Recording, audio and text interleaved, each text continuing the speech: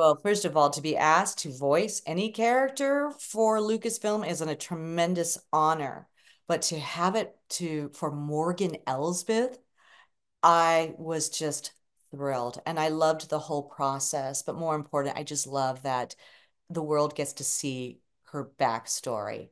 The world gets to see why she evolved the way she did.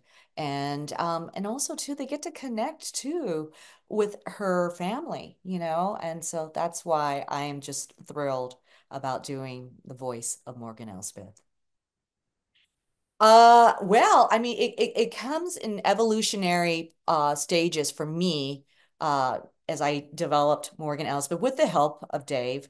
But luckily for me, I would read Timothy Zahn's books. I read Ian Convery's short story, Bug.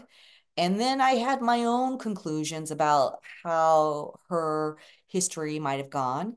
And to have you know, a confirmed that I was on the right track was wonderful when I was able to do Morgan Elsbeth uh, in Tales of the Empire.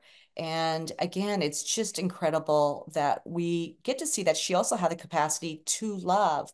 But when you lose the people that you care about, what does that do to someone's spirit and their soul?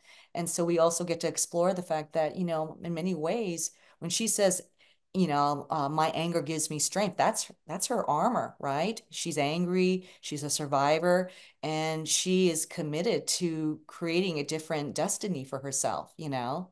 And so that's what I love about playing Morgan because she's such a complicated character. And there's so many things I think people can relate about this complicated person. Well, depending um, on what stage uh, you, you know we're viewing Morgan, you see the first stage where you know she's there she's with her Nightsisters and she's there being protective and she's there wanting to make sure that they survive and then to see uh, that she loves her mother and her mother loves her and they're willing to sacrifice uh, their lives for each other i think that's a whole other area that people did not see coming from morgan you know but then I love it. By the time we get to uh, her scenes with Thrawn, I just love that there is something to be said internally about what it is to validate somebody's mind and their brilliance and their intelligence. And that's what I love that Thrawn gave to Morgan Elsbeth. And that's why he chose her to be a part of his secret, I mean, his circle, actually. And so that's what I think makes it her character so fascinating her mind, her brilliance, and her persistence and resilience.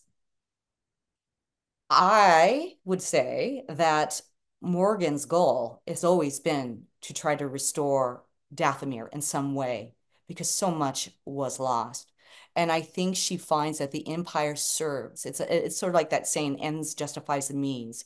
So by dedicating herself to the empire, and particularly later on to Thrawn, she sees this as a way to be able to get closer and closer to the goal of restoring her people and the culture and her heritage because I assume it's very rich, right? And and so there's so much that was lost. So it makes sense that Morgan is going to do everything she can to restore uh, her people in some way and in some capacity.